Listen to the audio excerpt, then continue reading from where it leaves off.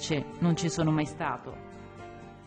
Non ci sono mai stato, dice Marco, lì al lago. Raffaella Grigi in collegamento da Anguillara. Nel frattempo ci ha raggiunto Chiara Rai, direttore dell'Osservatorio Laziale, che è una testata che fa molto giornalismo d'inchiesta proprio sul, sui casi della regione Esatto, Lazio. Raffaella Grigi, ciao. Sì, buonasera Marco. Da questo specchio di mare, come lo chiamano i genitori di Federica, al lago, quel lembo di spiaggia scura dove ogni giorno si sono recati per cercare anche di capire. Eh, forse Marco potrebbe sbrogliare qualche dubbio finito eh, nel trittacarne di questa storia nera. Eh, le indagini si sono concentrate la, tutta l'attenzione eh, su di lui, in apparenza e in sostanza, ma la Procura non esclude anche altre piste, quella di sconosciuti e anche di amici. Proprio per questo i, dif i difensori di, di, Muro, formati da uno staff anche di consulenti tecnici e di biologi, non tralasciano l'idea di ehm,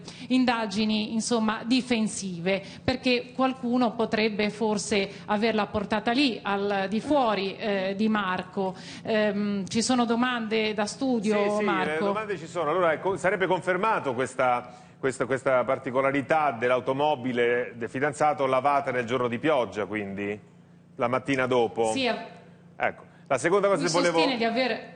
Sì. Eh, la seconda domanda era, è questa.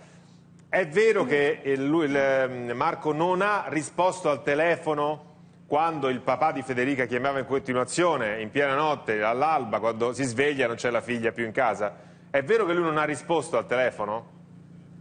È vero. Ecco, è perché vero, quel telefono veniva usato Luigi. dal papà, cioè era il telefono del papà, ma lo usava sempre Federica, Esatto. giusto? Esatto. Quindi è come se stesse chiamando Federica, È non, come non se il stesse papà. chiamando Federica e eh, ricordiamo che Marco Di Muro, il 23enne ragazzo, ha lasciato Federica in mezzo alla via Anguillarese, all'altezza della Banca delle Marche, quindi in mezzo alla strada, la via Anguillarese è una via trafficata, pericolosa, eh, una notte di pioggia, l'ha lasciata lì.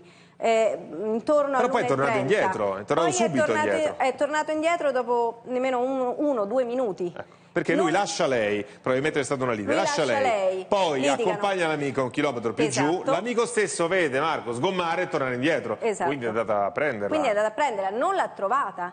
Quindi ricevere una telefonata da Federica, come hai detto tu Marco, giustamente, e, e non rispondere, dopo poi un messaggio, ricordiamo che Marco tornato a casa invia un messaggio Facebook a Federica. A che ora torna a casa? Eh, alle 3.08 circa. È sicuro questo? Perché eh, a quanto pare dagli inquirenti che hanno controllato comunque il computer eh, di Marco, il messaggio Facebook è stato inviato eh, a quell'ora. Alle 3.08. Allora Gambescia, allora alle 3.08 sta a casa, questo non c'è dubbio.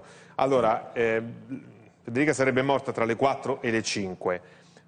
L'unica possibilità, diciamo, nell'ipotesi che lui effettivamente sia lì, è che lui torna indietro. Insomma, eh, torna indietro, No. perché c'è mezz'ora con Formello. Ci abbiamo pochi secondi. No, c'è un'altra possibilità, che in due realtà l'ha, porta- l'ha portata già lì, in quel luogo, poi l'abbandona e quindi lui torna a casa ma la ragazza resta Questa è l'altra possibilità. Grazie Sì. Paola Gambescia, grazie a tutti, purtroppo abbiamo finito il tempo, a Raffaella Grigi in collegamento, a Maria Delia, appuntamento a domani con la vita in diretta insieme a Mara. E Luca Pomeriggio, ora Carlo Conti, buona serata, ciao.